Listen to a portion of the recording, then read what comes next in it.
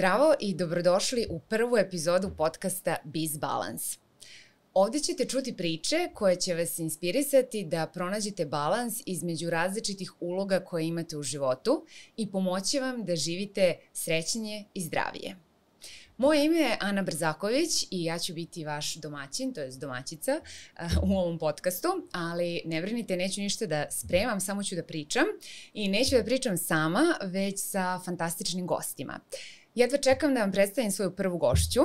To je Milica Krstić. Uh, pročitaću kratak info o njoj da ne bih nešto propustila. Uh, Milica je diplomirani psiholog, telesno orijentisani psihoterapeut pod supervizijom, preduzetnica, student doktorskih studija u Španiji. Milica je na Forbesovoj 30 ispod 30 listi najuspešnijih ljudi u Evropi za 2023. godinu, jer je kreirala platformu Siguran prostor na kojoj je okupila 105 psihoterapeuta koji su omogućili preko 15.000 besplatnih online seansi na 11 jezika. Wow! Milice, dobrodošla. Mnogo mi je drago što si gost moje prve epizode. Bolje te našla. Uh, hoćeš da nam ti prvo za početak ispričaš nešto malo detaljnije o, o svom karijeri i o svom putu i tome kako si došla do, do ovde? Moj put je počeo tako što sam krenula da studiram psihologiju 2013. godine i zaista kao neko ko je vrlo empatičan, nežan i osetljiv, obožavala sam da slušam o ljudima, radim sa ljudima i moj san je bio zapravo da ja postanem jednog dana klinički psiholog. E sad šta se zapravo dogodilo, kako, sam, kako su godine prolazile i negde na trećoj, četvrtoj godini kada smo zapravo imali kontakt sa kliničkom populacijom i sa zapravo strukom koja je mene interesovala i koja je bila moj san, dogodilo se to da sam se susrela sa realnošću i shvatila da se ja plašim, da sam preosetljiva, previše nežna i da zapravo nisam neko ko ima dovoljno kapaciteta da radi sa tako nečim. Ja sam svoj put nastavila u Grčkoj. Nakon završenih studija psihologije u Beogradu, ja sam se preselila u Grčku, živala sam dve godine u Solunu i studirala na Sheffield univerzitetu digitalni marketing i društvene mreže. Gde sam negde proširila svoje znanje zato što sam baš u tom trenutku uh, imala svoj modni blog. Mm -hmm. I mhm. volela sam i modu i putovanje i lifestyle i zaista sam obožavala i da se fotografišem, tako da sam negde spojila to u svoju ljubav i onda nastavila svoje obrazovanje u Solunu. Posle dve godine, kada sam radila u agenciji, studirala, završila uh, master rad, uh, vratila sam se u Beograd, uh, gde sam se zaposlila kao social media manager. Uh, Uh, sjajna profesija, sve ovo što donosi nju, ceo 21. vek i sve te predivne stvari i nove profesije. Jedno od njih je definitivno social media manager. Ja sam se pronašla u tome. Prestala sam da se bavim modnim blogingom, usresredila se na to da vodim klijentima društvene mreže, međutim šta se dogodilo? Postalo mi je nezanimljivo, dosadno, nije mi ispunjavalo i onda sam e, negde 2019. E, godine se upustila u edukaciju iz telesno orijentisane psihoterapije koja traje zaista onako dugo, šest godina, ali vredi i, i, i zaista je onako nešto neverovatno što ja nisam srela u drugim pravcima uh, psihoterapije. Takođe sam 2019. godine završila uh, edukaciju za uh, Kill Your Life coacha i onda sam to neko znanje sve ukombinovala sa psihologijom, sa psihoterapijom i zapravo 2019. i 20. godine se upustila u rad sa e, ljudima iz inostranstva, ali kao u tom trenutku kao life coach. Tako da je to otprilike negde moj put. E, sada radim sa ljudima, vodim platformu Siguran prostor, imam nekoliko drugih ideja.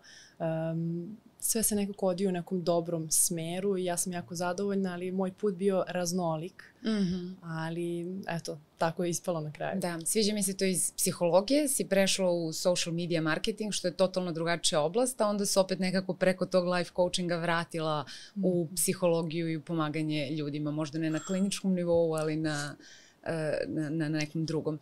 Um, reci mi, um, kako si došla do prvih, uh, on, do prvih klijenata u inostranstvu, pošto uh, je to nešto, mislim, ako si ovde se vratila i ovde živela i, i, i dalje razvijela karijeru, kako si počela da radiš sa inostranim klijentima? 2019. godine, kada sam se vratila ovaj, u Srbiju da živim ovde, okrenula sam se Helio Life coachingu i psihoterapiji.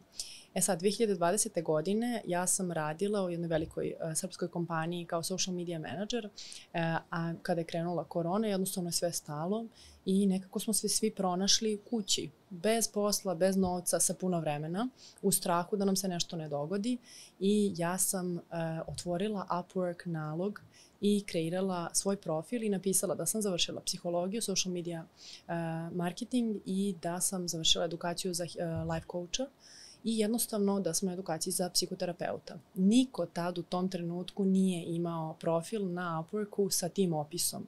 Šta se zapravo dogodilo? Ljudi koji su bili u tom trenutku na Upworku su bili programeri, copywriteri, različiti ljudi iz tih nekih drugih IT sme, sfera, ajde tako da kažemo.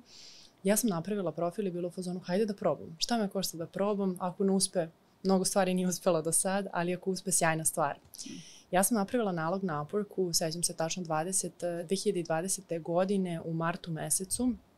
Posle neke dve nedelje javio mi se uh, klijent, koji je i dan danas moj klijent, uh, i uh, pogledao je moj profil i rekao da je zainteresovan da počne da radi sa mnom i ja sam počela da radim s njim s obzirom da on veoma uspešan preduzetnik u Kaliforniji I kada sam ja videla koliko on čovjek stariji od mene i ozbiljniji od mene, ja sam osetila strah kako ću ja moći da radim, da li ću ja moći da radim s njim zapravo.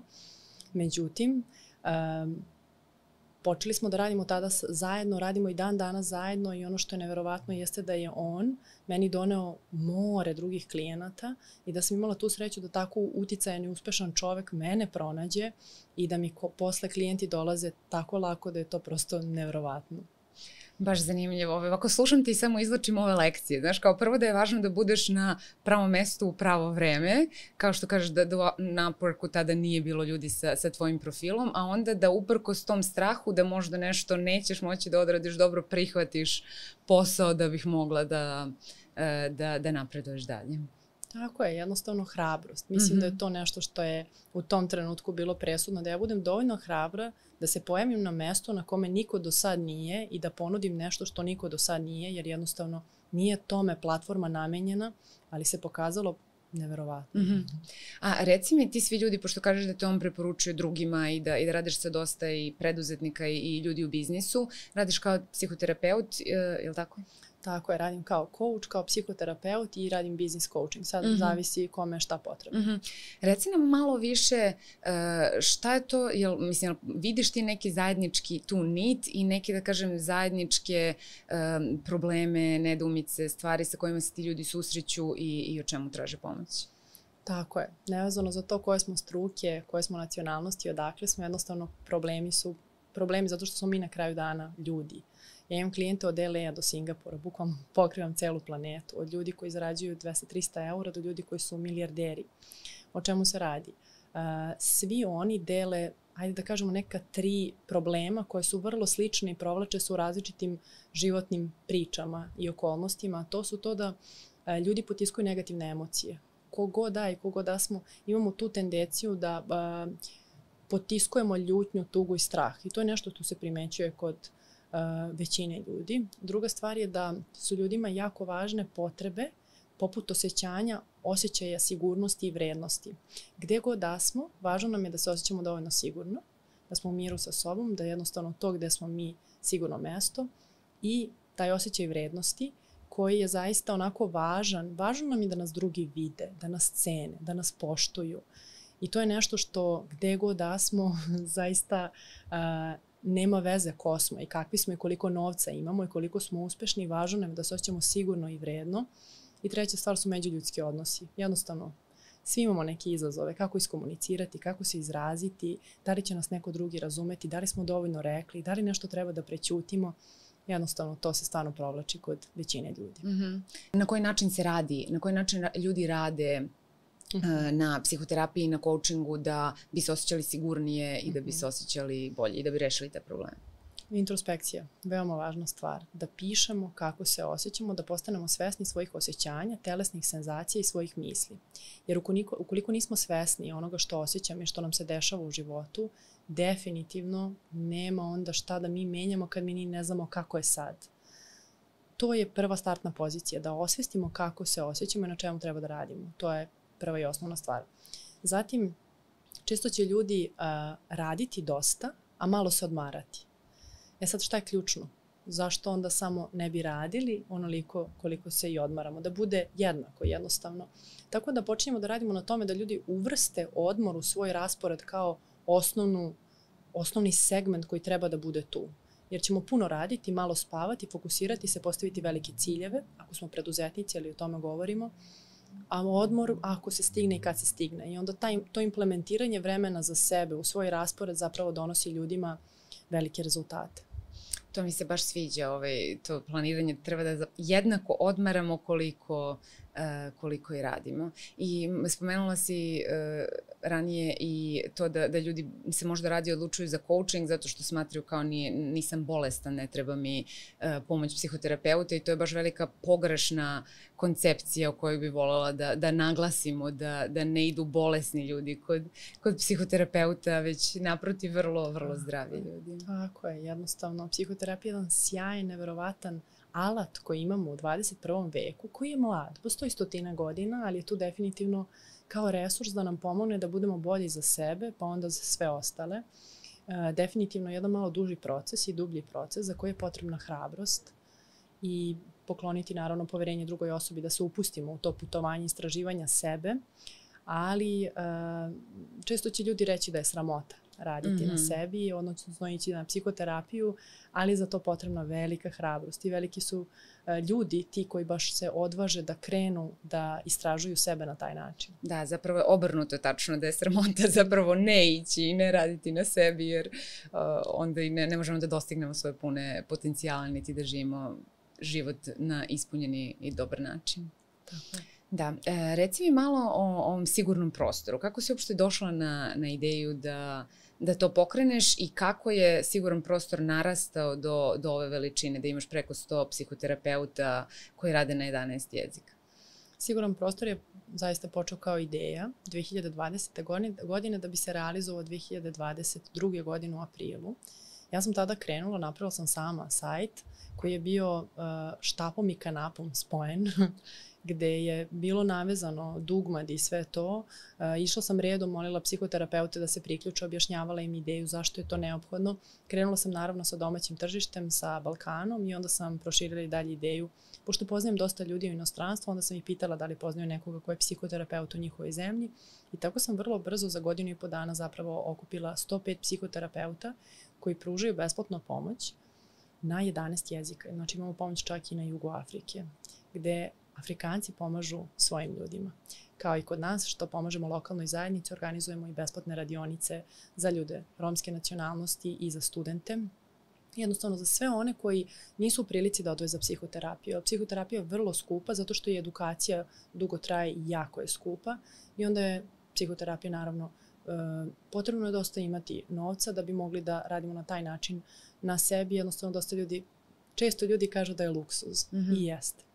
I onda smo napravili da ne mora da bude luksus, da svako ima pravo da bude dobro i zdravo, bez obzira na to koliko zarađuje. Tako da evo sada, nakon godinu i po dana, 15,5 hiljada ljudi je dobilo besplatnu psihoterapiju na 11 jezika i to je omogućio taj jedan veliki, sjajan internacionalni tim Tako da, eto, prezahvalna sam i presrećna što imamo to ovde kod nas i što smo odavde krenuli sa tako velikom idejom. Da, bravo, baš, baš lepo. I kad si rekla samo da je psihoterapija luksuz, mislim, opet, kod nas još uvek nisu te cene kao u inostranstvu, tako da kod nas je i dalje, e, ja bar smatram, relativno yes. dostupna i opet je jeftinija od coachinga, jer coaching je kraći proces i, uh, i, i onda je čak i dostupnije uh, raditi sa, sa terapeutom. A reci mi, um, što se tiče sigurnog prostora, kako on funkcioniše? Može da se bilo ko uh, prijavi i, uh, i da li svi psihoterapeuti rade pro bono? Mislim, svi doniraju svoje, uh, svoje sate ljudima koji se prijave. Tako je. Svi psihoterapeuti rade besplatno, uh, minimalno jedan sat nedeljno. Neki daju više sati, tri, pet ili deset, mm. onoliko koliko on može da pruži. Uh, psihoterapeuti su tu zaista uh, dobrog srca, empatični svedoci koji pomažu ljudima kojima je pomoć potrebna. S druge strane, svako ko osjeća da mu je pomoć potrebna ili joj je pomoć potrebna, može da se obrati na platformu i da zakaže svoju besplatnu seansu. Trenutno imamo dve opcije. Prva opcija je mesto na kome mogu da zakažu jednu seansu sa jednim psihoterapeutom, a druga opcija je mesto gde mogu da zakažu šest seansi sa jednim psihoterapeutom. S obzirom da znamo da je psihoterapija proces i da je mhm. potrebno mm -hmm. vreme, E, I sada pravimo novu platformu, evo izvanično javno da mm. kažem, koja će biti mnogo brža, mnogo bolja, naprednija i trenutno smo u procesu migracije i tranzicije na novu i bolju platformu. Imamo tim ljudi sada, um, CTO-a koji izgrađuje novu platformu, tako da uskoro će siguran prostor izgledati malo drugačije. Pa divno, radujem se da vidim i uvek ste u potrazi za sponsorima, je li tako?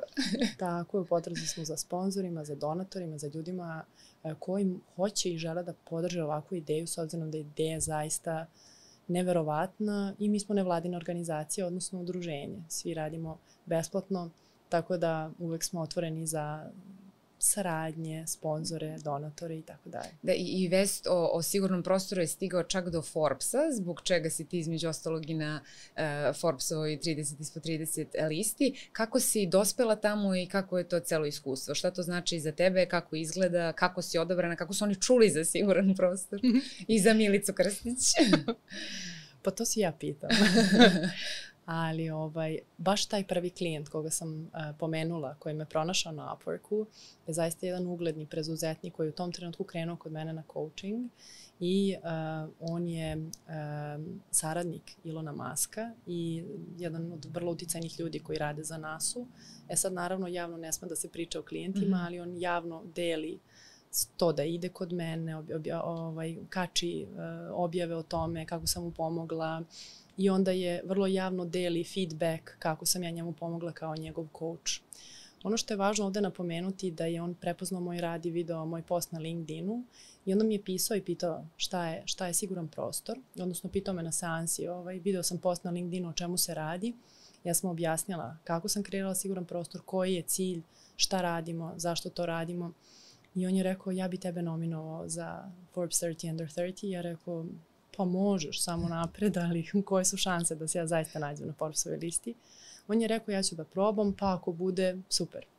I onda 7. marta ove godine sam dobila e-mail da e, sam se našla na listi, da su prepoznali moj rad i to mi je sada omogućilo more mogućnosti da upoznam neke neverovatne ljude.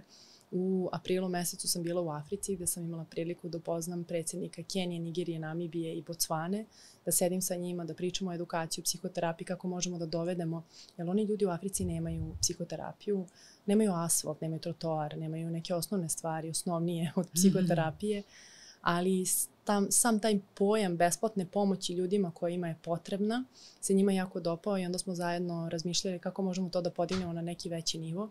I zapravo to što sam se našla na Forbesovoj listi mi je omogućilo da imam pristup nekim stvarima koje, kojima nisam do sad i neka vrata koja su bila do sad zatvorena jednostavno se mnogo lakše otvaraju kada neko tako veliki, ajde tako da kažemo, prepoznaje moj rad. Onda je negde sve protočnije, lakše i lepše i za dve nedelje idemo u Ameriku, u Cleveland, isto nas dočekuje e, gradonačelnik Clevelanda, tamo ćemo imati priliku da upoznamo različite preduzetnike, poznate ličnosti, glumci i tako dalje, tako da mnogo mogućnosti, neverovatni ljudi, networking, eto, zaista onako jedna velika, sjajna stvar. Divno, baš lepo i baš mi je drago da čekam da čujem utiske kad se vratiš.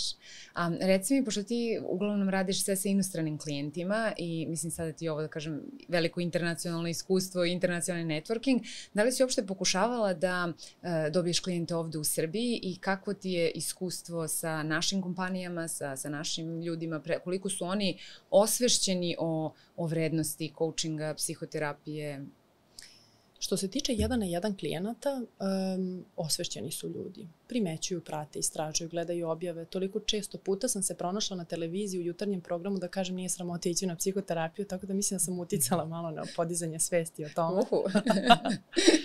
Ali ovaj, ono što je važno napomenuti jeste da mahom ljudi nisu osvešćeni i vide to kao sramotu, ludost, pogrešnost i kao da nešto nije okej okay sa njima, da moraju da se obrate nekom drugom da im on kaže kako treba da žive, a zapravo to nije psihoterapija.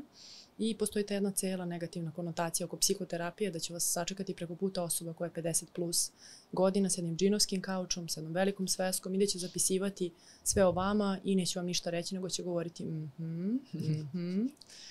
I onda kada imamo takvu konotaciju nastaje jedan problem gde ljudi pomisle da ću mnogo novca, neću ništa dobiti, i treba sad meni neko nešto da kaže kako ću ja da živim.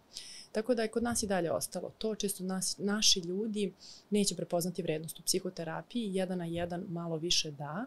Grupno u kompanijama iskreno nisam pronašla na kompanije koje su, neću sada da generalizujem, nisam ni ja sad sprovodila neko ozbiljno mm -hmm. istraživanje, ali ono što sam imala prilike da razgovaram sa određenim ljudima u kompanijama, što su HR-ovi, što su CEO-ovi, da jednostavno ne vide vrednost psihoterapije, odnosno ne vide vrednost ulaganja u ljude. Njima baš nije najjasnije kako to kada oni ulože u ljude može njima da se vrati, s obzirom naravno da je biznis deo i da ih interesuje kako će to uticati na biznis. Tako da kako u inostranstvu ljudi kada čuju psihoterapije, aha, kompanija, rad sa ljudima, treninzi, obuke, onako zacaklim se oči, oduševe se i kažu aha, to je to, idemo, hoćemo da ulažemo naše ljude.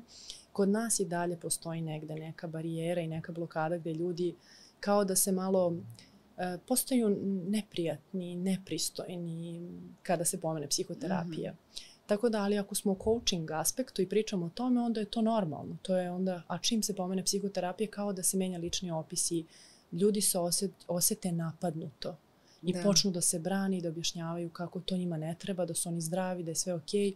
A zapravo... Da je radna atmosfera fantastična i svi su srećni i niko nema problema i niko nije u burnoutu i sve tako je super. Je, tako je, tako da mm -hmm. u procesu smo i dalje da učimo, radimo i razvijamo se kao društvo, da idemo u tom smeru da zapravo postanemo osvešćeniji, ali korak po korak idemo mm -hmm. u mhm. nekom dobrom smeru. Da, da. I ovo kad si rekla, mislim da nije to da oni nisu osvešćeni da je važno da se zaposleni razvijaju, ali kao što si spomenula nekako je e, coaching više kao biznis alat i više su možda, ne znam, treninzi o nekim veštinama, o nečemu što je potrebno za biznis, a psihoterapija se posmatra kao nešto što uh, je to ono za, za, za ljude koji imaju nekih većih problema ili nešto tako i onda ne, ne mogu da vide povezanost da do, pove, povezanost kompanije i, i vrednosti za zaposlene i kako će zaposlen koji ide na psihoterapiju dati veću vrednost kompaniji.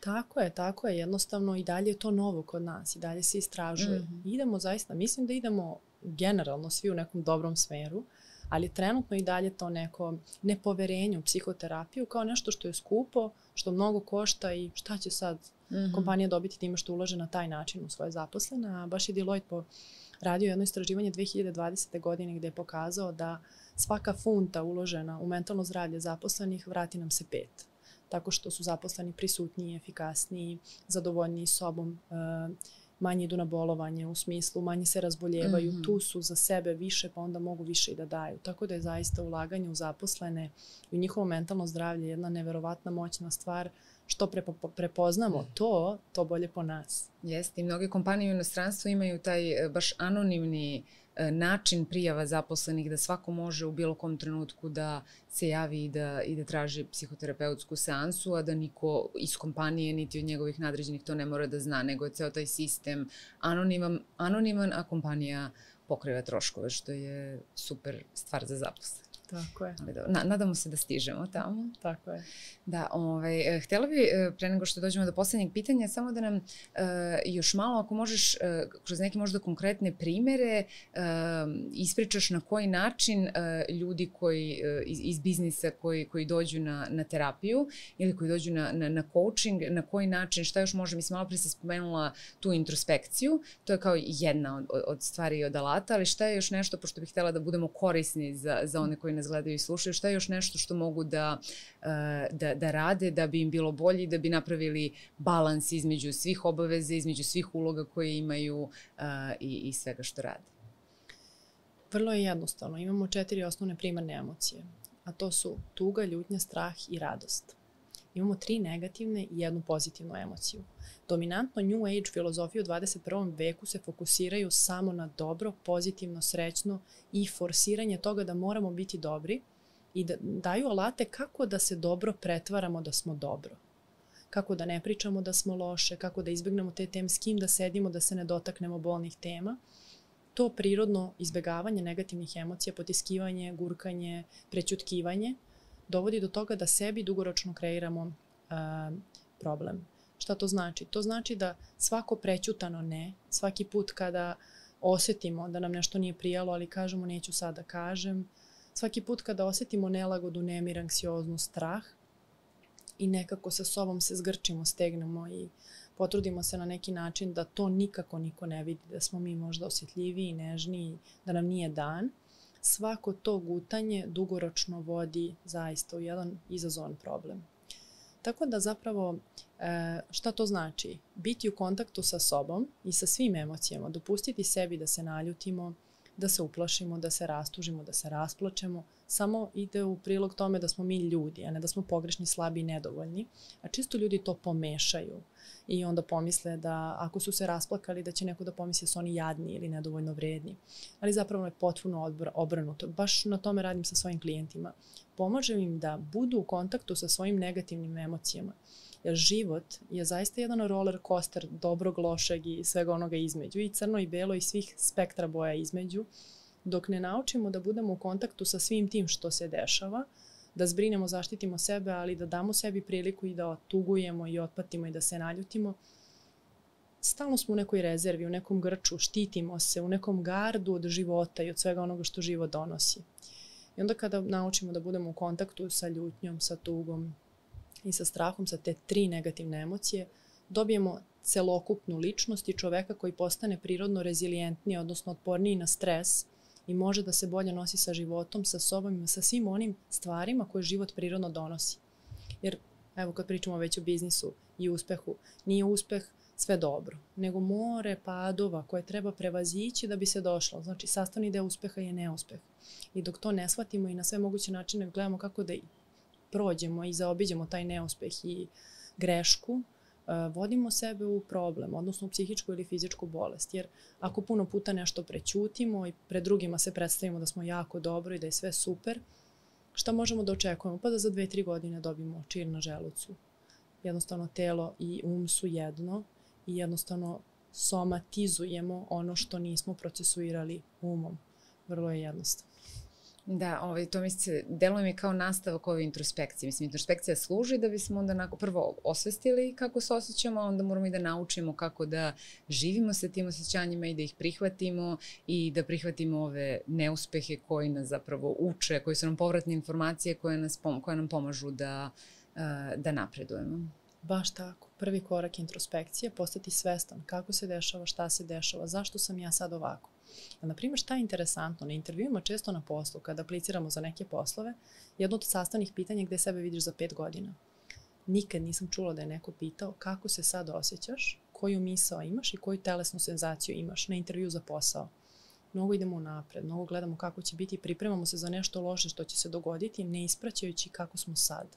Tako da introspekcija nam daje taj dojam kako sam sad, kako se osjećam, šta mi treba, koje su moje potrebe, da li su namirene, da li nisu namirene. Idemo u sledeći korak, kada sam svestan kako se osjećam, šta mogu da uradim s tim, od koga mogu da tražim pomoć, da li uopšte mogu da tražim pomoć ili me preplavi nelagoda zato što me sramota da tražim od nekog pomoć. More nekih stvari mm -hmm. koje se tu dešavaju procesa, ali to osvestiti, dopustiti sebi da osetimo negativne emocije je Da, i tu je taj ceo set tih negativnih uverenja, jer sad kad si rekla to, da li mogu da tražim pomoć, mnogi ljudi imaju uverenje da kad traže pomoć, onda su oni slabi ili onda znači da nešto ne, ne znaju da urade, ili to kad pogreše, onda nisu za to, umesto samo ta, tu stvar nisam uradila dobro u ovoj situaciji, ali mogu da naučim pa da ispravim i da, i da uradim bolje. I tu je, verujem da se kroz taj proces otkrije čitav set tih negativnih, to jest nepodržavajućih uh, uverenja. Tako je, a prirodni svi imamo i često ljudi pomisle, ja, psihoterapeuti, koučevi, psihijatri, psiholozi, to su neka uzvišena bića koje nemaju probleme. Mm -hmm. Na kraju priče mi smo svi ljudi koji imamo svoje izazove i svoje poteškoće i nekad smo vrlo osetljivi i ranjivi, samo je samo smo razlika kod nas je što smo svesni da je to tako i onda znamo šta da uradimo, kako da zbrinemo mm -hmm. sebe kad smo u toj situaciji,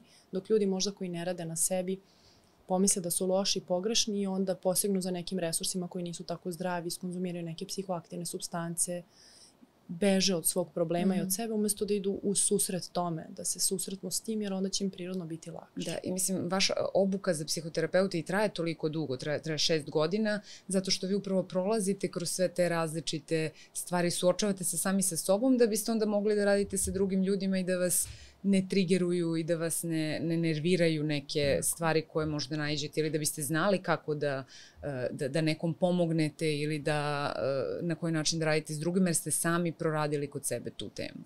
Tako je, zato ja baš volim moju psihoterapeutsku školu jer mi četiri godine prvo radimo na sebi zaista rudarenje mm.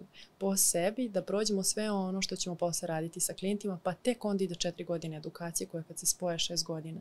Mm. Ali to je tako moćno, jer preko puta nas onda kad odemo na psihoterapiju sedi neko ko je prošao sve ono što ćemo mi tek proći i zaista uliva neku sigurnost, bar meni. Da, jasno. Hvala ti Milice, pošto se bližimo kraju ove epizode. Za kraj moje omiljeno pitanje, a to je koje tri stvari neko ko nas je gledao i slušao treba da zapamti i ponese iz ovog razgovora? Mhm. -huh. Prva stvar je da postane svestan svog osjećaja sigurnosti i vrednosti. Šta meni uliva sigurnost? Kako mogu da doprinesem tome da se osjećam sigurnije u sadašnjem trenutku? Da li je to udobnija stolica, da li je to čaša vode, da li je neka to prijetna osoba koji pogled, koji pogled će me umiriti, uh, da li je to neki miris, znači šta će meni uneti sigurnost i kako mogu to da pružim svom telu i sistemu da se osjetim još sigurniji i stabilniji u sadašnjem trenutku. Zatim osjećaj vrednosti, to nam sve spada pod jedan. osjećaj vrednosti, da shvatimo da je često ljudi imaju izazov sa time da im je potrebno malo više da nahrane taj, uh, tu rupu koju prirodno imamo da se osjećamo nevredno. Uh, i onda često ćemo tražiti mnogo više od drugih, da nas pohvale, da nas vide, da nas objave na društvenim mrežama, da nas osete, da, da nas dožive. Taj osjećaj je jako važan i što smo pre svesni toga koliko nam je bitno da nas drugi vredne cenuju, vrednuju, cene i poštuju, to ćemo bolje da se nosimo sa tim kroz život. Druga stvar je da krenemo na psihoterapiju, zato što to nije sramota. Ako je psihoterapija, ako je coaching, ako je mentalni, mental health counselor, kako se to već zove, savjetnik za mhm. mentalno mm -hmm. zdravlje, jednostavno potpuno je normalno i prirodni imati empatičnog svedoka koji će biti tu da nas vidi, doživi i da jednostavno podelimo parče sebe koje inače ne delimo s drugim ljudima sa nekim u koga imamo poverenje i sigurnost. To može da bude bilo koja osoba koju pratimo na Instagramu godinama, mesecima jednostavno imamo osjećaj da je poznajemo, možemo da je pošljemo poruku. Je prošla adekvatnu obuku, mislim, naravno, koja je psihoterapeut. to, to mi se podrazumeva, pa nisam rekla, izvin. ništa, ne, ne, možda da. bi bilo koja osoba koju pratimo na mrežama, ne, ne može. Naravno, ne, ne bilo koja osoba, naravno, da. skroz si u pravu. Ovaj, znači osoba koja je edukovana, koja je prošla sve edukacije, obrazovanje i licence. To sve može da se proveri. Uvek pozivam stručnjake koji se bave psihoterapijom da objave sve na LinkedInu. Moje sve diplome i sertifikacije se nalazi. Ko hoće da proveri uvek može da dođe i da vidi i moj prosek s fakulteta. znači druga stvar je jednostavno da ako vidimo da imamo izazov da se obratimo za pomoć i treća stvar je da ne potiskujemo negativne emocije, odnosno tugu, strah i ljutnju, da su to potpuno prirodne emocije koje su sastavni deo života. Što pre to shvatimo, uđemo u kontakt s tim emocijama, život će nam biti mnogo lepši i lakši. Hvala ti, Mjenice, baš se lepo sve ovo sažala, ne bi ja tu ništa menjala ni dodala. Hvala ti mnogo što si bila moj gost u prvoj epizodi Biz Balance. Hvala tebi. Hvala i vama što nas gledate i slušate i vidimo se sledećeg četvrtka na istom mestu. Do tada klikna subscribe.